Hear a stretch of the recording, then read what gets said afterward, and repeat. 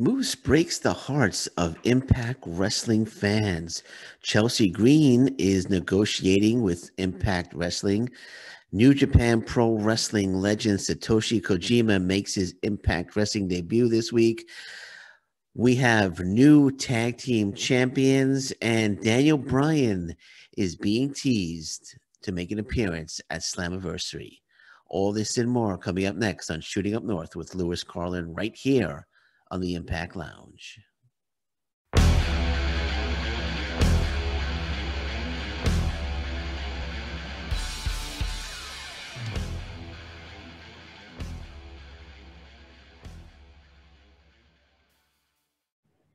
Hey, folks, welcome to Shooting Up North. I'm your host, Lewis Carlin. We're heard right here on the Impact Lounge, and we are the number one source for Impact Wrestling news and information for the Impact Wrestling fan. So if you don't subscribe to the Impact Lounge and you're an Impact Wrestling fan, you may want to consider hitting that subscribe button because we have lots of great content on here, lots of great interviews, great content. Consider hitting that subscribe button if you don't already subscribe to the Impact Wrestling Lounge. So let's get right into it. Moose has broken the hearts of Impact Wrestling fans from all over the world. All over the world, Impact Wrestling fans' hearts were broken by Moose on Friday. It was first reported on multiple websites that Moose has signed a new contract with Impact Wrestling. This was coming from Dave Meltzer. Uh, he had indicated that Moose had, in fact, signed a new contract with Impact Wrestling, and Impact Wrestling fans around the world rejoiced, especially me. I was very excited. I was very happy to hear this news. I you know, I, I tweeted about it. I was so happy. This is something that Impact Wrestling needed to do, in my opinion. I, I, felt that they could not let Moose go. He's their top star right now in Impact Wrestling. He's got a huge match coming up with Kenny Omega at Against All Odds. And I was just, I was just so ecstatic, so happy when I read that news. But then Moose, Moose broke our hearts Moose broke our hearts by indicating that um, he retweeted uh, the news, the Wrestler Observer news, that he had resigned with Impact Wrestling, and um, he posted his own tweet indicating that it was not true. And he tweeted out saying that if you want news, um, you should go to him and only him. So while we were rejoicing over the or rejoicing and celebrating over the news that Impact Wrestling had, in fact, re-signed Moose. Moose uh, spoiled the party and broke our hearts.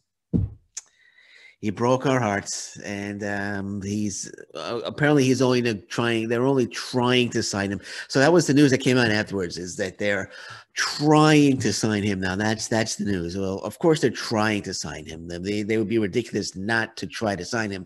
I mean, anybody could tell you that. That's not really big news. I mean, that's that's obvious news that they're trying to re-sign Moose. But um, Dave Meltzer, I wonder he's gonna put his big old foot in his mouth on that one, huh? He put his big giant foot. Uh, as you know, in fact, Dave Meltzer deserves a fish stick sandwich for for posting that, for for giving out that that news uh, that w- that wasn't confirmed. I mean, I know Fightful they they posted that up and they said they were trying to confirm it, and they only confirmed that that Impact Wrestling was trying to sign him, not actually signed him. They, they they were trying to sign him, but like I said, everybody knows that. Everybody knows that that Impact Wrestling is trying to sign uh, Moose. But um, yeah, I was I was disappointed. I was disappointed when that happened. When I uh, when that news came out, that Moose said he has in fact he has not in fact signed with Impact Wrestling, and he was actually teasing earlier in the day that he's going to sign with NXT and possibly um, AEW, and uh, but um, hopefully they can work out a deal. Hopefully they can work out a deal. I I really they can't lose Moose. You know, I tell you, Friday was such an emotional Such an emotional roller coaster ride for us Impact Wrestling fans, huh? Just just think about how happy we were, and then it was just like taking it away, taken away from us. It's like um, it's like uh, it's like um, I'm starving, right? And somebody somebody gives me a fish stick sandwich, and I'm about to take a bite, and they just take it away and say, "No, you can't have that. Sorry." You know that that's that's, that's what it felt like. But um, I'm still hoping. I'm still I still holding out hope that Moose does resign with Impact Wrestling. They they can't let him go. They cannot let Moose go. Man, I was kind of hoping that we would have seen something by now, but uh, but um, again, against all odds, might very well be his last match with Impact Wrestling. I hope it's not, but um, you know, and when when when Meltzer and all the other um, websites indicated that he had signed a contract with Impact Wrestling when they were reporting that news, I was thinking, oh right, we're going to see the main event at Slammiversary now. Moose against Kenny Omega is going to be like a no contest or something at Against All Odds, and and Moose is gonna regain um, regain the title for Impact Wrestling at that Slammiversary. But um, that's fortunately uh, that that might not happen. but uh, but let's let's let's hold out hope. We'll keep our fingers crossed, please. The Impact Wrestling resigns Moose. They they they, they gotta resign him. They gotta resign Moose. Okay. Uh, speaking of um, Impact Wrestling negotiating with someone, uh, Chelsea Green has been reported as negotiating with Impact Wrestling. Chelsea Green, former Knockouts champion, um, released recently from the WWE. Um, apparently under negotiation right now with Impact Wrestling to make a return at Slammiversary, which you know, yeah, I'm, I'd be all for that. I got no issue with that. No issue with that at all if Chelsea Green returns to Impact Wrestling. Now, I know Chelsea Green said she wants to go the Cody Rhodes route. So I don't really think she's going to sign a long term deal with, with Impact Wrestling. I think she'll show up at Slammiversary and maybe be there for two, three months uh, to be uh, the next challenger for uh, Deonna Purrazzo and the Knockouts title. I think uh, that'll be just fine. And then she'll then she'll work her way around to other promotions. That's how I feel she's gonna she's gonna do it. I, I know she has expressed interest in working for Ring of Honor. Uh, she expressed interest in heading to Japan, uh, and she had indicated that uh, she wants to take, like I said, the Cody Rhodes route. Where Cody Rhodes, when he was um, when he left the WWE, he wrestled for uh, all different promotions. He wrestled for Impact Wrestling, Ring of Honor, New Japan Pro Wrestling. So he he didn't sign with one promotion. He eventually did um, sign with Ring of Honor exclusively, um, so he could work with Ring of Honor, and New Japan Pro Wrestling because they had their working agreement. Uh, but that's the route she wants to go, and hey, there's nothing wrong with that. Nothing wrong with that at all. Uh, but I do think we're going to see her at, at Slammiversary. I do think um, uh, Deonna Purrazzo, uh, whoever she's facing at Slammiversary, will will successfully defend the Knockouts title, and then Chelsea Green will come out, get in her face, and boom, the feud begins the feud begins. A two or three month feud begins. But then again, I could be wrong. I could be wrong. You know, she may maybe she maybe she'll decide that she wants uh, some stability and signs a long term deal with Impact Wrestling. Uh, but but from what I've been hearing from her, it doesn't seem that's the route she's going to go. Um, but um, I do expect to see her at Slammiversary. I do expect to see Chelsea Green at Slammiversary. And again, I have no issue with that at all. Big Chelsea Green fan, uh, former Knockouts champion. She did a great job when she was Impact Wrestling. Um, the first uh, go round, love to see her back. Uh, speaking of Slammiversary, Impact Wrestling is teasing Daniel Bryan. Okay, they're they're teasing a lot, teasing a lot of uh, teasing a lot of uh, wrestlers, um, but they're teasing Daniel Bryan. I, I, I don't think there's any chance, and I'm not being, I don't want to be negative and I don't want to uh, get anybody upset, but I think there's zero chance of Daniel Bryan appearing at Slammiversary. And I'm not the biggest fan of of teasing something and not coming through and not um, coming through for the fans on it. You know what I mean? I know they're teasing a lot of wrestlers. You know, I, they teasing Kazuchika Okada from New Japan Pro Wrestling, their top star. Um, they're teasing Samoa Joe. They're teasing the Iconics. You know, it's there's more of a you know Samoa Joe Iconics. Uh, that's possible. It's possible that we'll see. I don't think Okada, but but let's go back to Daniel Bryan. They're they're uh, just I, I don't want them. I don't. I'm not a fan of getting people's hopes up, and then um, it doesn't happen. That's that's because Daniel Bryan is not coming to Impact Wrestling.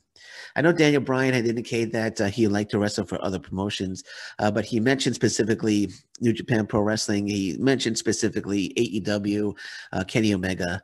Uh, so I don't, I don't think there's any chance at all. Not nothing. I know there's no chance at all that Daniel Bryan shows up at Slammiversary. I'm sorry. That's just that's how I feel. And if I'm wrong and he shows up at Slammiversary, I will definitely what I'll do. This is what I'll do. This is what I'll do. Okay, because I always use uh, I I use the term fish stick sandwich um, quite a bit in the past. If Daniel Bryan shows up at Impact Wrestling at Slammiversary, uh, Slammiversary, I will make myself a fish stick sandwich and I will eat it right here on Shooting Up North. Okay, I will eat a fish stick sandwich if Daniel Bryan shows up at Slammiversary. So remember that. Remember that. We'll, we'll uh, that, I promise. I promise. I, I, because I will have earned that fish stick sandwich if Daniel Bryan shows up at Slammiversary. But again, I think there's zero chance that uh, Daniel Bryan shows up at Slammiversary. We have a huge debut coming up. Another New Japan Pro Wrestling star, New Japan Pro Wrestling legend, will be making his debut on the next episode of Impact Wrestling. New Japan Pro Wrestling legend Satoshi Kojima will be making his debut for Impact Wrestling, and this is going to be so amazing. Satoshi Satoshi Kojima is such a great, great, great professional wrestler. He's just an absolute legend. He's the first man to simultaneously hold the IWGP Heavyweight Championship, which is New Japan Pro Wrestling's uh, championship, and All Japan Pro Wrestling's Triple Crown Championship, which is All Japan's top title. He held them simultaneously. That's like somebody holding the WWF title and the AEW title simultaneously. You know, that's that's the level that's on. You know, and and Satoshi Kojima held them both simultaneously. First man to ever do that. And he's just an absolute legend. He's held the IWGP tag team titles a number of times. Um, he's just terrific, terrific, terrific wrestler. And I'm very, very excited that we're going to see him in, in um, Impact Wrestling um, this Thursday. He makes his debut. But they don't indicate who his opponent's going to be. So I'm guessing it's going to be Sam Beale or VSK because I think if it was an opponent worth noting, I think they would have they would have noted it. Um, but uh, I would love to see Kojima against Joe Doering. I think that would be absolutely a tremendous match. Kojima against Josh Alexander would be absolutely insanely awesome. Um, Kojima against Moose would be great, but um, I don't know. Uh, Moose has got his hands full right now with Kenny Omega, and who knows if he'll be back uh, for Impact Wrestling. Uh, he broke our hearts. He broke our hearts. Know it's okay. yeah, he has a chance to he has a chance to um to um to um, mend a broken heart as well. But uh, we we spoke about Moose already. I'm not going to go into Moose anymore. But Kojima, um, just just an incredible talent. Awesome, awesome talent. So excited that he's going to be debuting the Impact Wrestling, and um, I know people might not know who he is, but um, do some research instead of uh, going online and typing who. Do do a little research. Uh, he's an absolute legend, and I uh, can't wait to see his debut. Again, I'm guessing it's going to be against Sam Beale of VSK. Uh, but um, yeah, I'm looking forward to it. I, I would expect he's going to be around for a few weeks. Um, I'm thinking he's going to first match against Sam Beale, VSK, and maybe somebody will come out and uh, challenge him to a match. I would, like I said, I would love to see him against Joe Doering or um, or Josh Alexander. I think that would be those matches would be absolutely incredible. Would be absolutely incredible. So we'll see uh, the plans, um, see what plans that Impact Wrestling has for Satoshi Kojima. Uh, but uh, just be excited. Trust me trust me on this. Just be excited about the debut of Satoshi Kojima in Impact Wrestling. And speaking of New Japan Pro Wrestling, FinJuice. Uh, apparently, they are no longer part of Impact Wrestling's creative plans for the time being. Uh, FinJuice, Juice Robinson, Dave Finlay dropped the titles to guy I just mentioned Joe Doering and Rhino on the last episode of Impact Wrestling. Um, Rhino um, called his shot and um, Violent by Design um, came to the ring, and Rhino uh, actually let's let's just take a step back for a second. FinJuice had defeated Ace Austin and Madman Fulton to successfully defend their titles. Violent by Design, um, they came out after the match was over. Rhino called his shots, chose Joe Doering as his partner, and Rhino and Joe Doering defeated FinJuice uh, to win the Impact Wrestling Tag Team titles. And FinJuice no longer with Impact Wrestling for now, but they did say that they will be back in Impact Wrestling sooner rather than later. Uh, but right now, Rhino and Joe Doering are the Impact Wrestling Tag Team Champions, and they are quite a duo, quite a duo. And uh, um, I think them against the Good Brothers would be a great match. Uh, I would imagine that the Good Brothers would try to get their tag team titles back. Uh, I personally was I thought this this was fantastic. I originally thought Madman Fulton and Ace Austin were going to win the tag team titles, and when they didn't, I was like, okay, FinJuice still the t- still the tag team champions.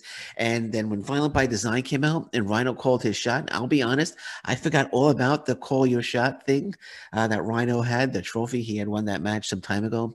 Completely forgot about that, so it caught me by surprise, and I absolutely loved it. I thought it was fantastic, thought it was well done, and uh, Rhino and Joe Doering, new tag team champions, and man, uh, that that's a terrific tag team right there. Joe Doering nearly took Juice Robinson's head off with that clothesline. Um, if you saw it, man, wow, Joe Doering is just an incredible, incredible talent, and they really need to utilize him a lot more because he's just fantastic. And I, I thought Juice Robinson's head was gonna just fly off, and and I was gonna, I'm, well, I was gonna say flying to the crowd, but there was no crowd, but flying, fly through the empty arena and hit the wall and, and fall to the floor but that was one hell of a clothesline he hit um and um hit Juice Robinson with. Uh, but um, yeah, it's great. Um, I you know the only the only thing that I'm a little disappointed in is uh Juice Robinson, Dave Finlay you know, I yeah, in the back of my mind, I know they headed back to Japan to New Japan Pro Wrestling. In the back of my mind, I kind of wish they held on to the titles because I wanted to see like a tag team, like the Good Brothers or another tag team, even like Ace Austin or Madman Fulton, head on over to New Japan Pro Wrestling and chase them in New Japan Pro Wrestling for the Impact Wrestling titles. I thought I was thinking that that would have been really cool, uh, but um, just as cool was as was Rhino and Joe Doering winning the titles. I thought it was really well done, and um, Impact Wrestling did a great job with it. And um, and that's it. And that's it. On that note, I'm going to say thank you very much for listening to me today. I'm Lewis Carlin. This is Shooting Up North. We're heard right here on the Impact Lounge. And until next time, thank you very much. Take care. Bye bye. And stay safe, everyone. So long. Bye bye.